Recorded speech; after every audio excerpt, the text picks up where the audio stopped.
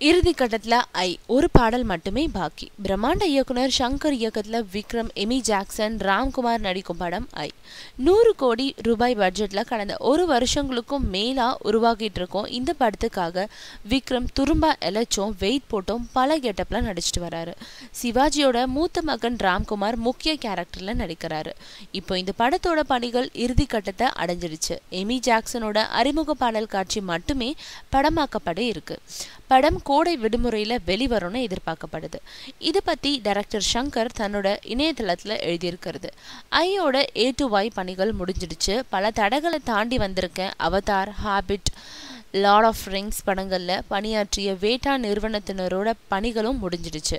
Amy Jackson பாடல் காட்சி மட்டும் எடுக்க வேண்டியது இருக்குது பெரிய பட்ஜெட் படம்ன்றதுனால அதுக்கான ப்ரமோஷனும் பிரம்மாண்டமாக இருக்கணும். அதை தயாரிப்பாளர் நல்ல முறையில் செய்வார்னு நினைக்கிறேன்னு ஷங்கர் எழுதியிருக்காரு.